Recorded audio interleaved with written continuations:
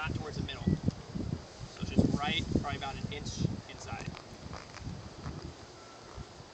Yep, everybody got it?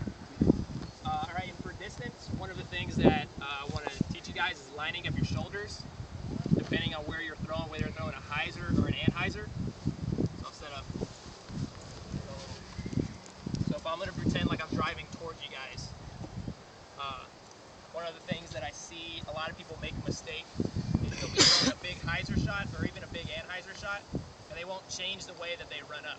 They'll still try to run up straight at it, and then either try to pick a spot right here or pick a spot and open their shoulders up instead of pick from the left or right side of the tee pad. And if I was going to throw a big hyzer, I would line up from the left side of the tee pad and come to the right side right here so I can have right there. So I have no room for air over here. I'm never going to throw it over here. I would never run up towards the middle. I want to throw hyzer and they would come up anhyzer.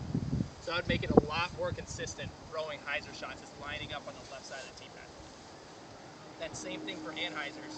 You're going to line up on the right side and then make it to where your shoulders open up this way.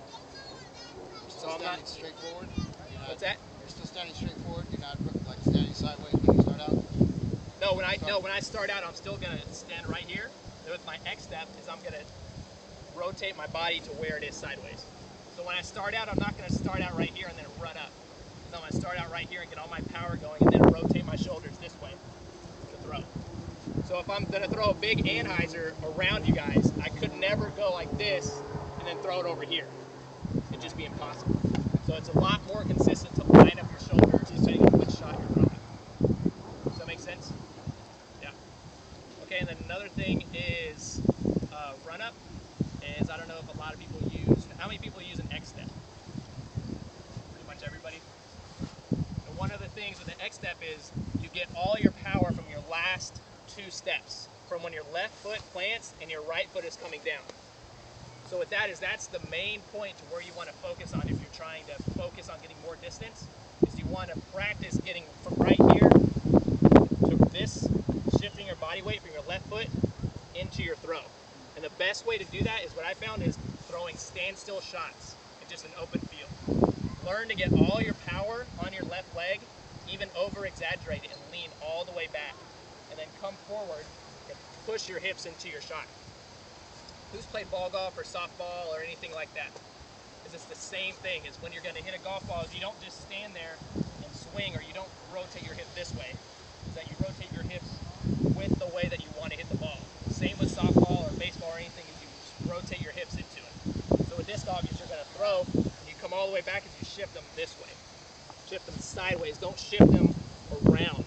Don't come away from your body. You want to stay really close and tight. And with that in mind, it's the same thing is who throws, who throws, who thinks they throw really far? No, I need somebody to come up. so just pretend you're gonna throw this way, so reach like you're gonna throw a standstill shot. Yeah, stand. Yeah, and then reach back. So just like that, uh, when people say stay tight, or they say stay above your chest, is you don't want to stay around your chest. You want to stay towards your, around your core. When you throw it, has anybody played Ultimate? or plays ultimate or anything like that. Anyways, when they tee off, they call it a pull.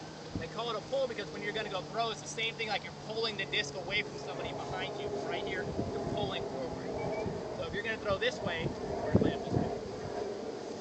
Yeah, if you're to come this way, you're to throw as hard as you can. You're to feel like you're pulling from somebody right here. He's to feel. He's to feel like he's pulling from somebody off the ground and pulling forward. So pull me forward.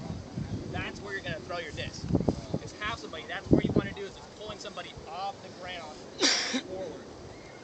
You're not throwing from up here. If he was going to throw, he's not to throw from up here, and he's not going to hold his arm outside of his body. There's no power right here. All your power comes from low to high and coming low through your core. So if you're to, yeah, always, if you're to practice getting more distance, what I suggest is put yourself in the position, reach all the way back, don't even matter, it doesn't even matter where the disc goes. But reach all the way back on your left leg and then pull forward like somebody's ripping the disc out of your hand. Just like that, over and over and over again. And get the repetition. Any questions? Question? Anything? How do you change your shot when, when depending on which if you're facing a headwind versus headwind?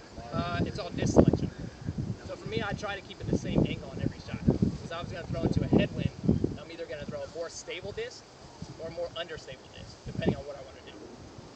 So it would, in, in the wind, it's all about angles. Because you could throw, you could not even throw hard and throw the same type of distance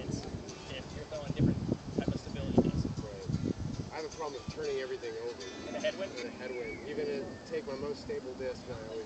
yeah, it might be from rolling your wrist. Okay. And I'm actually glad you said that because in the wind it really points out if you roll your wrist over.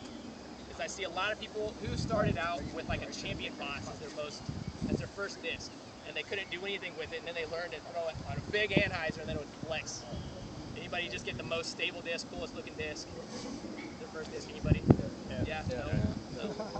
So I mean, what you learn is that is it good that obviously you got the fastest disc on the market, but also it's not they're not ready for that disc because a lot of beginners go out and they get the fastest disc they can find. They say it's the one that'll get you the most distance, but it teaches you bad habits because you're coming. You learn that you need to come over to get any more distance, but that's not the case. What you need to learn is throw the hard hyzer right here or backhand, obviously, and you want to come across your body right here because you don't need to come this way. You're not going to get a lot of power like that at all, like I just showed you.